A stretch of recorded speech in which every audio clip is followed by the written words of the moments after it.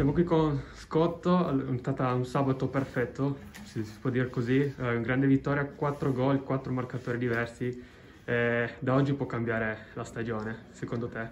Speriamo, speriamo che sia la svolta, andiamo da due partite bruttissime, quindi dobbiamo dare una svolta sia per noi sia per la classifica. Speriamo che questa vittoria in casa, anche se il punteggio forse non ci rende troppo tranquilli, nel senso che potrebbe essere, sembrare che sia stata una vittoria facile, ma non lo è stata, poi c'è stata da soffrire come sempre, è stata una bella vittoria in casa davanti al nostro pubblico e speriamo ci dia il, nostro, il giusto entusiasmo per affrontare le prossime partite fino alla sosta che abbiamo bisogno di punti.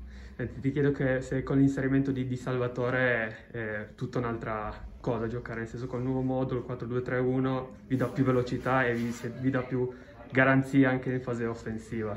Sì, Leo è un gran giocatore, noi lo conosciamo, è già stato da noi e sicuramente siamo super contenti che sia tornato e oggi ha fatto una gran partita, ma siamo sicuri che, anzi sono sicuro, ma penso un po' tutti che ne farà tante altre, ci porterà tante altre volte alla vittoria. Ti chiedo ancora mercoledì, eh, andate a giocare a Chieri, che partita ti aspetti che possa essere? Non so cosa aveva fatto Chieri oggi, perché giocava a Casale, ma sicuramente la Chieri è nei primissimi posti, è una grande squadra, dobbiamo giocare a casa loro, ma come due partite giochiamo per vincere, è una squadra forte, ce la giochiamo sicuramente a viso aperto, con la voglia di vincere la partita e portare a casa i tre punti.